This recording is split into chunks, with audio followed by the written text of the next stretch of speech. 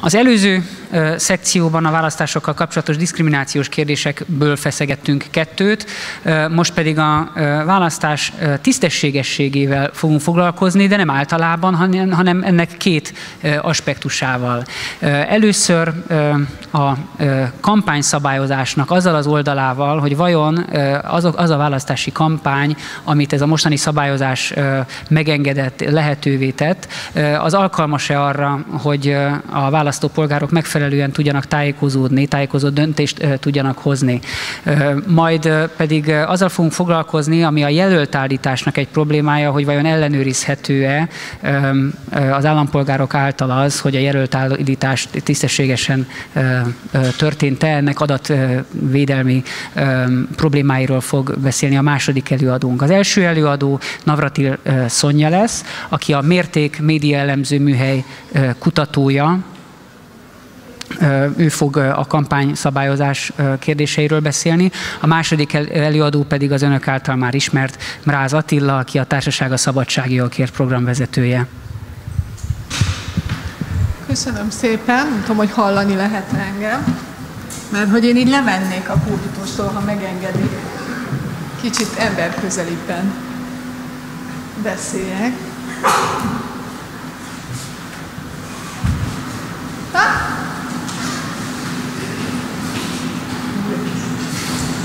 És a kampányszabályozásnak, az új kampányszabályozásnak a Hát egy áttekintését szeretném a következőkben önöknek adni. Az előadásom az kevésbé lesz jogi, szakmai, mint az előzőek. Érinteni fogjuk nyilván a jogalkotás kérdéseit is, viszont olyan kérdéseket is fogunk érinteni a, a kampány szabályozással kapcsolatban, amelyek az új szabályozásnak a hatásairól, vagy a hatásait fogják vizsgálni, hiszen a Mérték Média Elemző Műhelynek volt két olyan kutatása, ami ebben a témakörben érdekes lehet, én azt gondolom, az önök számára. Abban a tekintetben is szeretném megtörni az előző előadókhoz képest a, a kört, hogy, hogy én egy picit kritikusabb, sőt, erőteljesen kritikusabb hangvételben beszélnék az új szabályozásról és a választási eljárási törvény új kampányszabályozási paragrafusairól. Én nem gondolom, hogy zsákban macskát kellene árulnom, a Mérték Média Elemző Műhely, és személy szerint én is úgy gondolom, hogy ez az új kampányszabályozás, ez mind a jogalkotási folyamat, amelyen keresztül végigment, mind pedig annak az eredménye, az minden tekintetben antidemokratikusnak nevezhető. És hát én itt három indokot írtam föl arra, hogy miért, miért tekinthet, tekinthetjük ezt az új szabályzást antidemokratikusnak. Azt gondolom, hogy a, a legerősebb érv talán a semmibe veszi az alkotmányos elveket, hogy őszintén én először azt írtam oda, hogy viccet csinál az alkotmányból, de ezt tudományosan kevésbé ö, adekvátnak éreztem, viszont sajnos igaz. Tehát a következőkben három részt, ö, hogy három fontos dologról szeretnék beszélni ö, a, az előadásomban.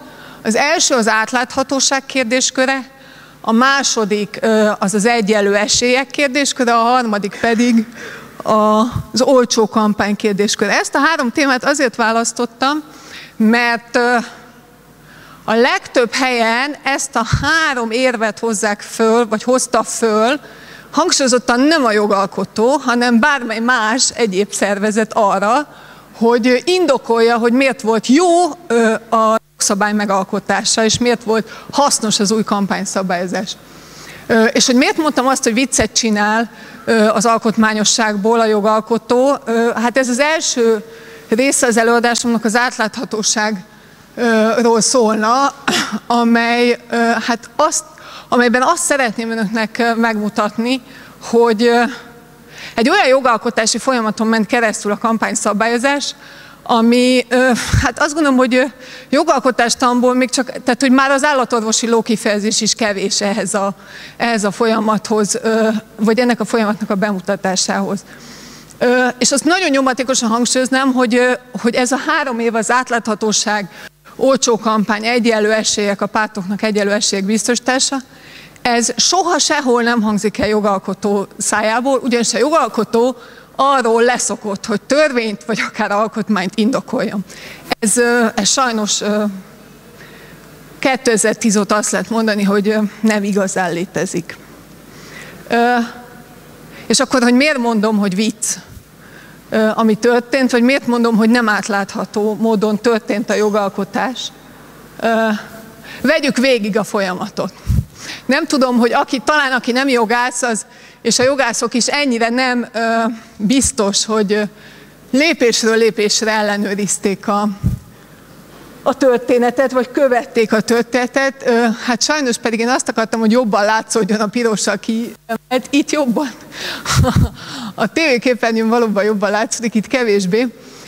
Tehát az első lépés se a kampányszabályzás jogalkotási menetének az úgy nézett ki, hogy volt egy választási eljárásról szóló törvénynek egy törvényjavaslata, amely 2012. november 26-i dátummal azt mondta ki, hogy a kampányidőszakban kizárólag a közszolgálati média szolgáltatásban tehető közzé politikai reklám, tehát másút nem. Ezt követően előzetes normakontroll keretében az Alkotmánybíróság január, 2013. január 7-én megsemmisítette ezt a paragrafus többek között ezt is, azzal az indoklással, hogy aránytalanul és szükségtelenül korlátozza a szólás és véleménynyilvánítás szabadságát, a sajtószabadságot, hiszen a politikai reklám korlátozása az mind a pártok szólását, mind pedig a, a választópolgárok információhoz való hozzájutását korlátozza. És ezt meg lehetett volna oldani másképp is, hogyha olcsó kampányt szerettek volna a jogalkotók, vagy olcsóbb kampányt szerettek volna a jogalkotók létrehozni, mint a korábbiakban. A következő fejezet a történetben nem telik el sok időt, tehát azért ez egy rövid szakasz. 2013. április 1-én, nem egész négy hónappal ugye az Alkotmánybíróság határozatát követően, az alaptörvény negyedik módosítása beemeli az alkotmányba azt a szakaszt, hogy kampányidőszakban politikai reklám csak közszolgálati média szolgáltatások útján tehető közzé. Azt a szakaszt tehát, amiről január 7-én az Alkotmánybíróság azt állapította meg, hogy indokolatlanul korlátozza a szólás és sajtószabadságot. Na de a történet itt még nem záródik le. Mert hogy október 1-én szintén nem egész, április, május, június, július, nem egész fél évvel később, újabb alkotmánymódosítás történik, indoklás szintén nem létezik, illetve hát a jogalkotó nem tesz hozzá közé indoklást, amely viszont már úgy módosítja, ez az ötödik módosítás második fejezete, amely úgy módosítja a kampányszabályozást, hogy politikai reklám média szolgáltatásban kizárólag ellenérték nélkül tehető közé, amelyet sarkalatos törvény szabályoz, amely a választási eljárásról szóló törvény szerint ugye ö, úgy néz ki, ö, hogy, hogy politikai reklámot vagy a közszolgálati médiaszolgáltatónál tehet közé ingyenesen, vagy pedig a kereskedelminél, de akkor a kereskedelmi médiaszolgáltatóknak, rádióknak, országos televízióknak nyilatkozniuk kell a kampányidőszak előtt, hogy vállalják ezt vagy sem. Ugye azt tudjuk, hogy Magyarországon nyilatkoztak, nem vállalták. A két országos kereskedelmi tévében nem volt politikai reklám a választások időszaka alatt, csak a közszolgálati médiaszolgáltatóban, vagy szolgáltatóknál.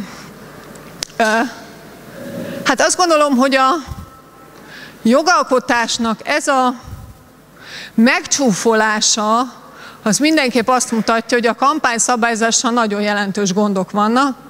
A jogalkotó és a politika pedig hát erőteljesen befolyásolni kívánta a szabályzáson keresztül az országgyűlés és az európai parlamenti választások, illetve a most ö, ö, még ö, ö, a jövőben lezajló önkormányzati választások eredményét.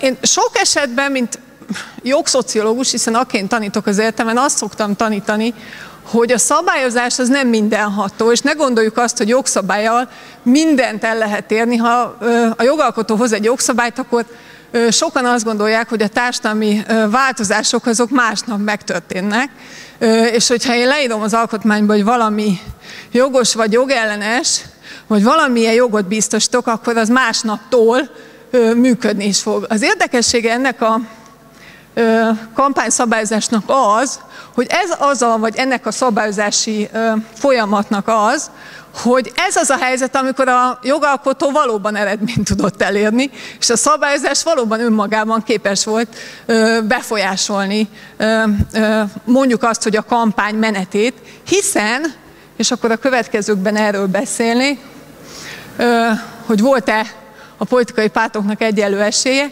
hiszen azt láthatjuk, hogy az országgyűlési választási kampányban azzal, hogy a kereskedelmi ö, ö, televíziókban nem folyt politikai kampány, tekintettel arra, hogy nem választották azt a lehetőséget, hogy, hogy ingyenesen reklámidőt biztosítanak a politikai pártoknak.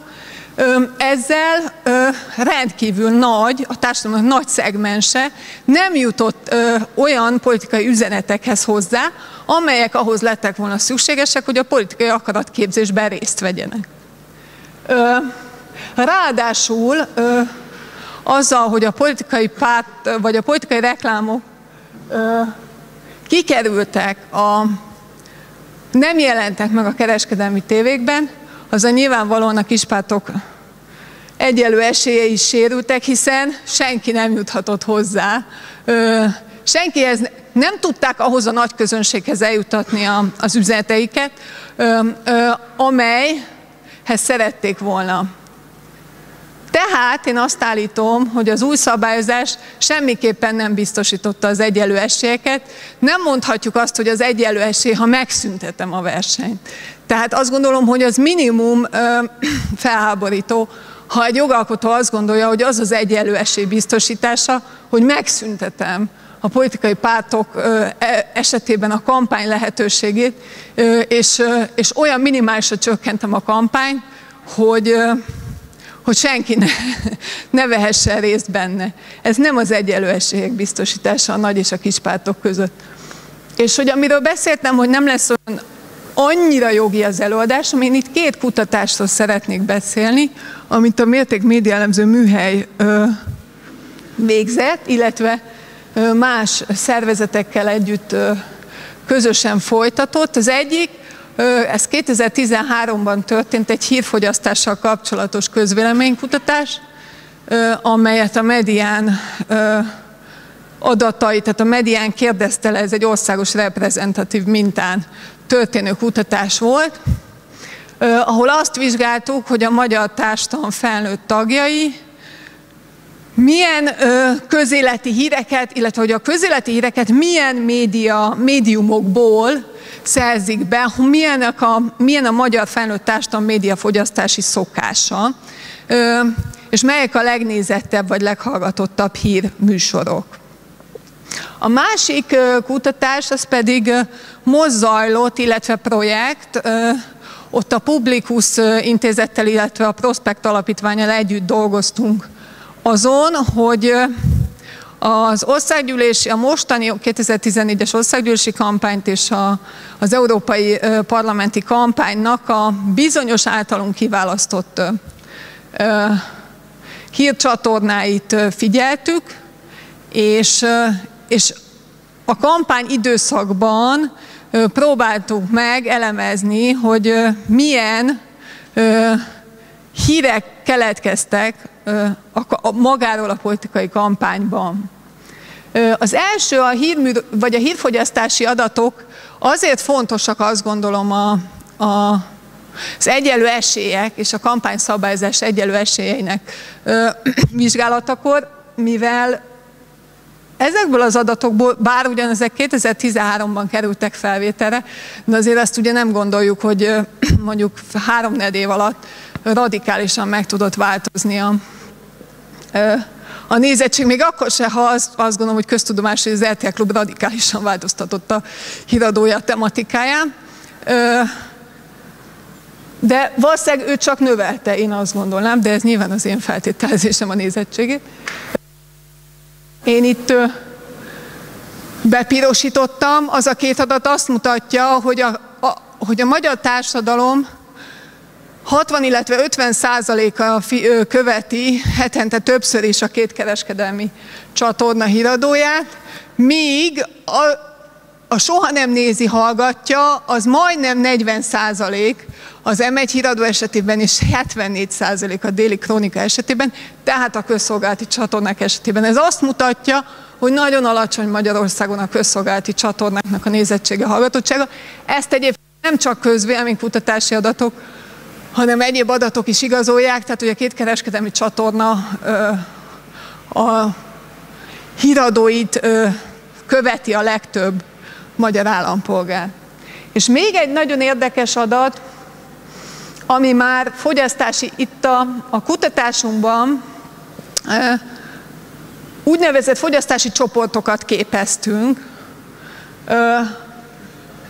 és ebből az látszik, hogy 57, hát itt se látszik olyan jól a számok, elnézést kérek, 57 százaléka a magyar társadalomnak csak az RTL klubot és a TV2-t követi. Semmilyen más, tehát nem figyel bulvárt, nem néz ö, közszolgálati tévét, nem figyel ö, semmilyen rádiót, és nem fogyaszt helyi sajtot sem, tehát a társadalom 57%-a az kizárólag a két kereskedelmi tévének a közéleti híreit követi, ami azt jelenti, hogy ha ezt összevetjük ezt az adatot azzal a ö, az állapottal, ami a politika, vagy ami a választási kampányban történt, hogy a két kereskedelmi csatornán nem volt politikai reklám látható, akkor mindjárt látjuk, hogy a társadalom többsége, hogy miért állítottam én azt, hogy a társadalom többsége nem jutott hozzá azokhoz a hát szükséges információkhoz, amelyek a, egy demokratikus rendszerben szükségesek ahhoz, hogy választani tudjunk,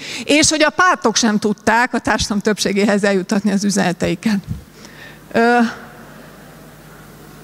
És akkor itt, igen, itt annyit írtam csak le, hogy, a, hogy, hogy semmilyen egyéb adatot, vagy semmilyen egyéb médi, médiumot ez a társadalom 57%-a nem fogyaszt. Ö, innen is látszik tehát, hogy az a hamis érv, hogy a választási kampány van a politikai reklámok ingyenessé tétele, egyenlő esély, egyenlőbb esélyeket biztosít a kisebb pártok számára, mint a korábbi ö, szabályozási környezet, az egyszerűen ö, nem állja meg a helyét, és ezért állíthatom azt, hogy hamis ér, hiszen a társadalom többsége nem jutott hozzá a politikai üzenetekhez. És akkor a harmadik ilyen indok, amely ö, el szokott hangzani, és azt hiszem, hogy ez az egyetlen indok, ami szerepel is talán jogalkotó írományában, tehát törvényjavaslatban, vagy, vagy alkotmány, vagy sok-sok alkotmánymódosítás közül az egyikben, az az, hogy olcsóbb legyen a kampány. Hát én itt két dolgot emelnék ki, az egyik az az, hogy kinek. Kinek legyen olcsó a kampány. Azt gondolom, hogy a szabályozás az valami olyasmi felé mutat, hogy hát minimuma, és akkor itt el lehet ezen kezdeni vitatkozni, hogy a kormány az tud-e kampányolni vagy sem, de a szabályozás arra felé mutat, hogy a kormány számára legyen olcsó a kampány, a pártok számára ö, pedig hát ö, mondjuk azt, hogy ö, árnyaltabban fogalmazva, ö, nem ennyire lejt a pálya a kispártok vagy a nagypártok számára, de minden esetre kétséges, hogy a kisebb politikai pártok számára olcsóbbá tette az új szabályozás a kampány. Hogy miért állítom azt, hogy, hogy a kormány számára olcsóbb? Két dologról szeretnék itt beszélni. Az egyik a és akkor itt most az ember megbicsaklik. Politikai reklám, társadalmi célú reklám, megkülönböztetése, vagy a médiatörvény és a választási eljárási törvénynek a politikai reklám szabályzására vonatkozó tökéletesen ellentmondó rendelkezései. Ez az egyik. A másik pedig, amire azt állítom, hogy nem igaz az, hogy olcsóbb lett a kampány, az, a, az pedig a 2014-es választás vagy kampányra vonatkozó kutatásunk eredményei, amelyek azt mutatták ki, hogy abban a környezetben, ahol csak és kizárólag a közszolgálati médiumokban volt közételtő politikai reklám, abban a környezetben, a közszolgálati médiumokban a kormánypárti hírek voltak túlsúlyban. Ergo a kisebb pártok nemhogy valóban olcsóbb kampányhoz jutottak, úgy, hogy nem jutottak felülethez, és lehet, hogy pénzt ezért nem kértek tőlük, a, a, ugye itt végig a televíziós és rádiós reklámokról beszélek, nyilván a, a, a az írott sajtóban ugye a politikai hirdetés fogalma az mást jelent a törvény szerint, a választási eljárási törvény szerint. Tehát ugye a televíziós és rádiós piacon viszont azt lehet mondani, hogy mivel a közszolgálati médiumokban volt közzétehető a politikai reklám, ezért viszont ott csak és kizárólag nem is úgy mondanám, hogy jelentős erőfölényben volt a kormány és a kormányzó pártok, ezért aztán kétséges, hogy az olcsó kampány kinek is kedvezett valójában. És kinek is volt olyan nagyon olcsó. Hogy mit figyeltünk ugye ebben a 2014-es kutatásban, hírműsorokat, itt az M1 RTL Klub esti híradóját, a TV2 tényeket és a Kossuth Rádió déli krónikáját. Tehát kifejezetten hírműsorokat vizsgáltunk, egyéb más műsort nem. És akkor egy-két adat. Hát ebből azért azt jól láthatják, itt azért vannak időszakos adatok, mert még nem került feldolgozásra a, a, a teljes választási időszakra vonatkozó ö, ö, anyagunk, hiszen ez folyamatban van ez a, ennek a kutatásnak a, az eredményeinek az összesítése. Tehát az látható, hogy a két közszolgálati csatornán, ugye a rádión és a televízión, Déli Krónikán és az M1 híradójában messze túlnyomó többségben van a kormány oldal, mint közéleti hírek csinálója, míg a Két kereskedelmi csatornán is azért jelentős az erőfölényük, de mondjuk azt, hogy az 50% körüli arány kevésbé durva, mint a 74%. És itt jól látszik, hogy, hogy a kormányváltók aránya az növekszik, a, a, tehát hogy egymástól veszik el a helyet a, a kormánypárt és a kormányváltók a hírekben, mint hírcsinálók. És akkor még fontos adatok, amik ezekből a kutatások, vagy ebből a kutatásból hát megállapításra kerültek. Ugye a két legfontosabb szereplő az, az értelmszerűen az Orbán Viktor és a Mesterházi Attila voltak. Nem volt különbség, a, ugye számoltuk, hogy hányszor szerepeltek a hírekben, nem volt valódi, tényleges különbség a szereplés száma között. A számok ugye bár én szociológus is volnék, ezt nem illik mondani, hogy a számok csalnak, mint ahogy Rodolfo is mondta, hogy vigyázzunk, mert figyeljék a kezemet, mert csalók. Tehát, hogy csalnak a számok, mert hogy bár nem volt különbség a szereplési számok között, két dolgot fontos megjegyezni. Az egyik, hogy Orbán Viktor csak és kizárólag pozitív jellegű hírekben szerepelt. Egyetlen egy negatív hírt sem találtunk róla. Nyilván, ha a kormány az RTL Klub elleni hadjáratot akkor kezdi meg, akkor ez nem így lett volna. De ezt nem tette meg, valószínűleg nagyon helyesen. Tehát Orbán Viktorról a regnáló és a, az akkor regnáló és a, a mostani miniszterelnökről negatív jellegű hír ö, nem keletkezett. Mesterházi Attila viszont legtöbbször a Simon Gábor ö, negatív konnotáció ügyével kapcsolatban került szóba, ö, és akkor itt mindjárt látják, hogy mennyire nem mindegy, hogy ö, mennyire fontos az, hogy a számok mögé nézzünk, és hogy az, hogy a szereplési számokban nem volt különbség, az mennyire nem feltétlenül takarja ugyanazt a, az üzenetet. Azt lehet mondani tehát, hogy a, hogy a kampányidőszakban hát erőteljesen a közszolgálati médiumokban erőteljesen többet foglalkoztak a kormánypártokkal, mint az ellenzékkel. A, mi, az akkor, tehát, hogy a, az akkor és az új miniszterelnök személye szent és sérthetetlennek tűnik, míg az ellenzék ö, ö, vezetője, hát most, hogy ki, ki, ki tekinti Vestázi Attilát annak, mondjuk azt, hogy a legtöbbet szereplő ellenzéki politikus viszont kifejezetten negatív üzenetek keretében jelent meg a kampány során.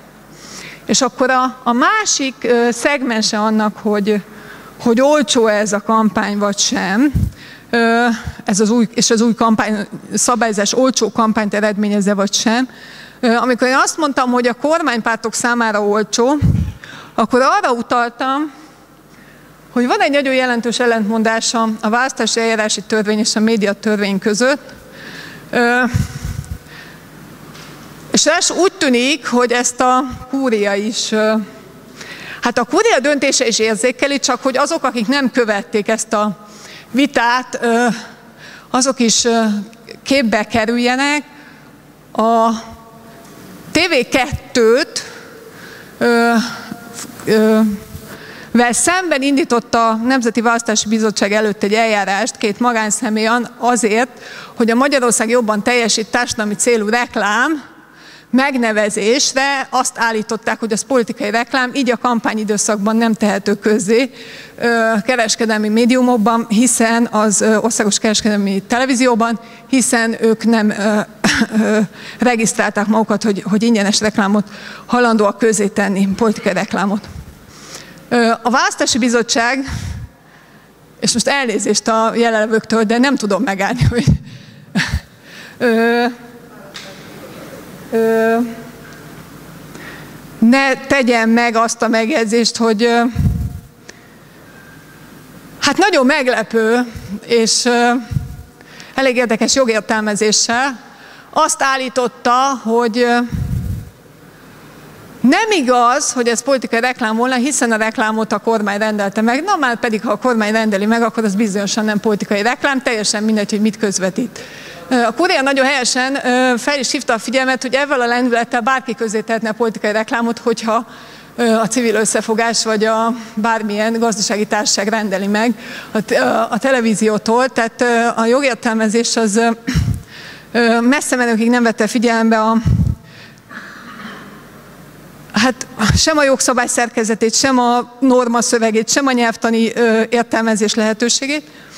Ebben szemben ugye felvizsgálattal éltek a, a kúria felé, ahol a kúria kimondta, hogy, és akkor itt jön a, megint az érdekes kérdés, hogy hát ez bizony politikai reklám, mert hogy tartalmát tekintve politikai reklám nak felel meg, teljesen mindegy, hogy a kormány rendeli meg vagy sem, mert hogy akként azonosítható. Viszont felmerül a kérdés, hogy hogy lehet az, hogy a két szabályzás úgy ellentétes egymással, hogy, és ezt érdekes módon a Kúria nem vizsgálta, valószínűleg azért, mert ő csak a választási eljárási törvényt olvasta el. Én szerintem egy jogértelmezésnél mondjuk a másik törvényt is meg kell nézni, mert hogy ez a két ö, fogalom, amit én ide kiírtam, az, az önmagában nem feltétlenül ellentmondó egymástok. Ugye a választási eljárás törvény azt mondja, hogy jelölt és jelölő szervezet az, amelyik politikai reklámot tesz, a médiatörvény pedig azt mondja, hogy ide beletartozik a kormány is. Viszont a médiatörvény egy másik paragrafus azt mondja ki, hogy politikai reklámot a kormány csak és kizárólag választási kampány időszakában, vagy népszavazás összefüggésben tehet közé. Na és akkor ilyenkor mi a, ö, mert ugye választási eljárási törvény esetében viszont a kormány nem szereplője a történetnek.